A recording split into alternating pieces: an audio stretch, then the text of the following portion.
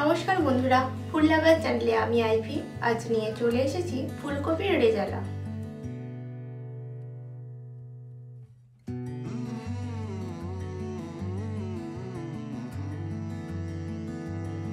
ফুলকপির রেজালা বানানোর জন্য আমি যেসব ইনগ্রিডিয়েন্টসগুলো নিয়েছি সবচেয়ে গুরুত্বপূর্ণ হলো ফুলকপি, সেটা আমি কেটে জল ঝরিয়ে এখানে রেখেছি। টু টেবিল স্পুন চার মগজ এটা আমি পেস্ট করে রেখেছি। ওয়ান টেবিল স্পুন ধনে গুঁড়ো, ওয়ান টেবিল স্পুন জিরে গুঁড়ো, ওয়ান টেবিল স্পুন আদা পেস্ট। ঘি আমি পরিমাণ মতো ইউজ করব। লবণ স্বাদ মতো। Kashmiri red chilli, one table spoon চিনি টেস্ট অনুযায়ী এক বাটি টক দই ভালো করে ফেটিয়ে রাখা হয়েছে। Coconut milk powder three table spoon একটা তেজপাতা, একটা শুকনো লঙ্কা, দারুচিনি, লবঙ্গ আর গোলমরিচ আর তিনটে কাঁচা লঙ্কা। টু টেবিল স্পুন পোস্ত, কিশমিশ আর কাজু, এগুলো একত্রে আমি মিক্সিতে পেস্ট করে নেব।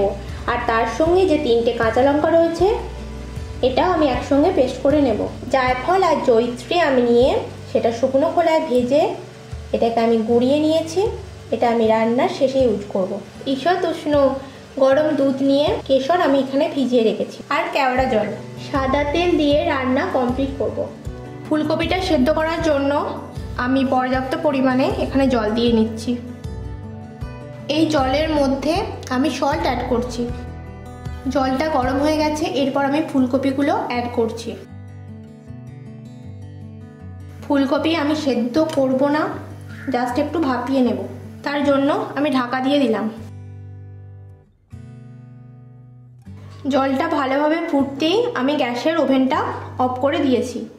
এরপর জলটা আমি ড্রেন করে নিচ্ছি। মিডিয়াম ফ্লেমে আমি কড়াটা গরম করে নিয়েছি। এরপর সাদা তেল অ্যাড করছি।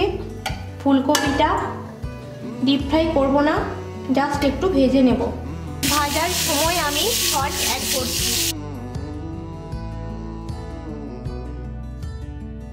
থ্রি টেবিল স্পুন সাদা তেল দেওয়ার পর ওয়ান টেবিল স্পুন ঘি অ্যাড করছি। কাজু, কিশমিশ, পোস্ত আর কাঁচা লঙ্কা একসঙ্গে পেস্ট করে দিচ্ছি। আদা পেস্ট চার মগজ।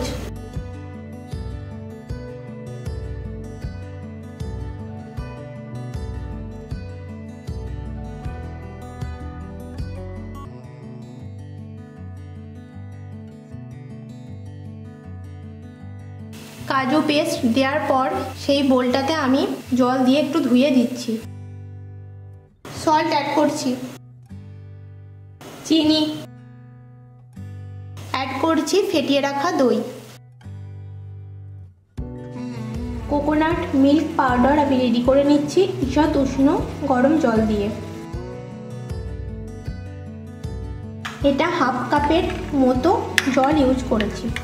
সুন্দরভাবে মশলাটা পাক করার পর আমি ফুলকপিগুলো অ্যাড করছি। আমি এখানে গরম জল ইউজ করছি।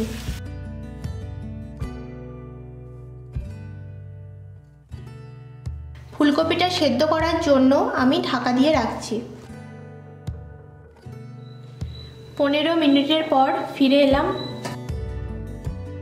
ফুলকপি খুব সুন্দর সেদ্ধ হয়ে গেছে। কোকোনাট মিল্ক এটা অ্যাড করছি। জায়ফল জৈত্রীর গুঁড়ো। ওয়ান টেবিল স্পুন কেওড়া জল। গ্যাসের ফ্লেমটা আমি অফ করে দিলাম। চাপড়নটা অ্যাড করে আমি কিছুক্ষণ ঢাকা দিয়ে রেখে দেব। এই ফুলকপির রেজালা আমি সার্ভ করে দিয়েছি, এটা অত্যন্ত সুস্বাদু। আপনারা লুচি, পরোটা বা রুটির সাথেও ট্রাই করতে পারেন। আমার রেসিপিটি যদি আপনাদের ভালো লেগে থাকে প্লিজ লাইক এবং শেয়ার করবেন। আমার চ্যানেলটিকে সাবস্ক্রাইব করবেন এবং পাশে থাকা বেল আইকনটিকে ক্লিক করবেন পরবর্তী নোটিফিকেশন পাওয়ার জন্য। Thank you